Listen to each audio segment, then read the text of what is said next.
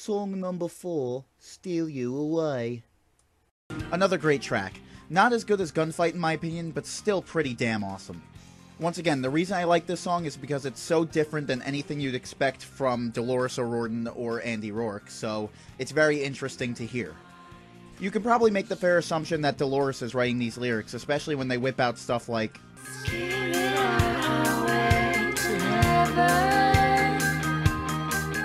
I don't know, just the moment heaven is mentioned, I get the feeling that's Dolores, because I mean, she loves her religion.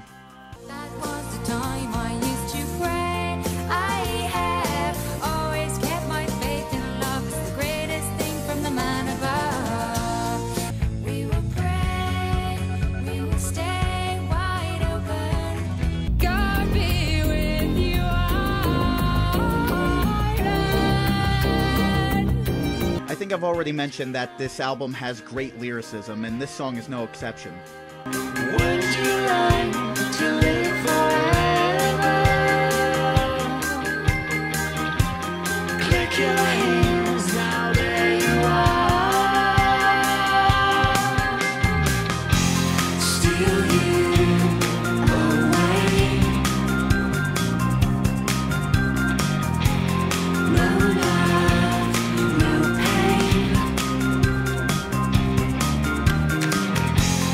One of the reasons Dolores is my favorite singer is because she likes to experiment with her voice.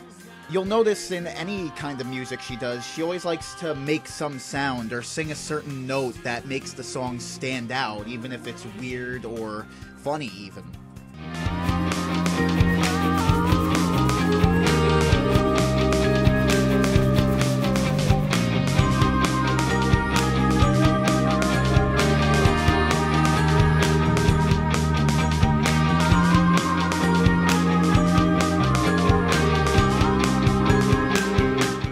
This song has a catchy beat, great lyrics, and an overall mystical sound, so that's a good song in my book, and I love how it just leads into the next song.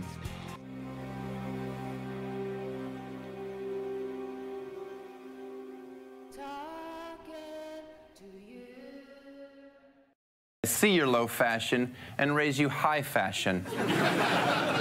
oh, yeah. Can we just hear that lead in again? And again.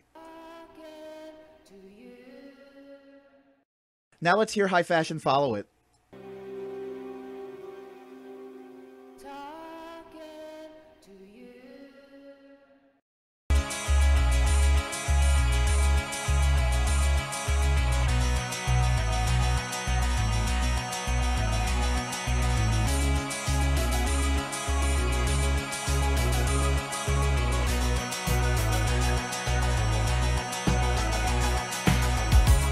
Don't worry, Brian. Those goosebumps will go away in about 20 minutes.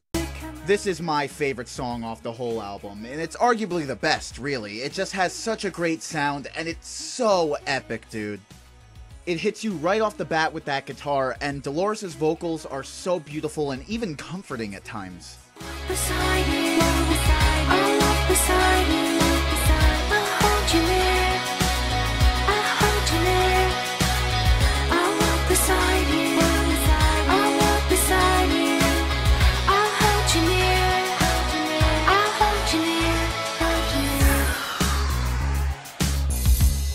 They even remixed Dolores' vocals. How cool is that?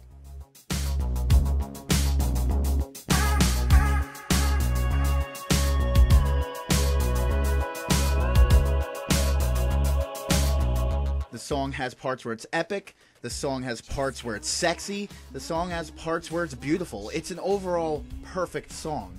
It fuels the mind creatively and puts imagery in your head like a good song should. So much so that you can almost imagine what a music video for this would look like.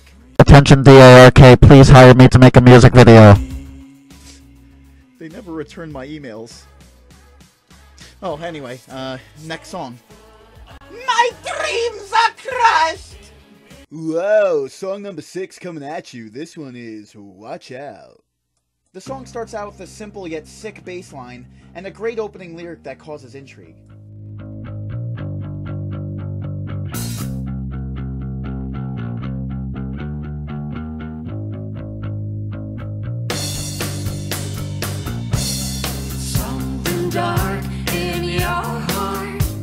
It's a general rule in poetry that your first and last line should be really good. For this song, the first lyric really does suck you in and leave you wanting to listen to the rest. We've lost the war, but less is more. I will admit that the chorus to this song is kind of cheesy, but I kind of like it. It's catchy.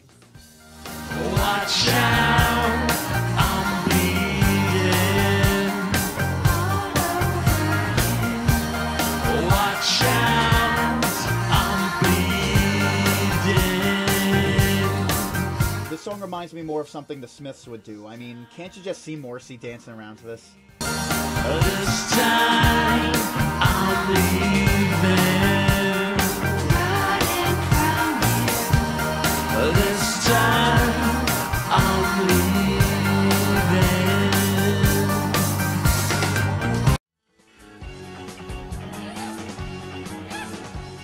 love him or hate him, this guy's fucking hilarious. And on a quick side note, listen to that fucking bass.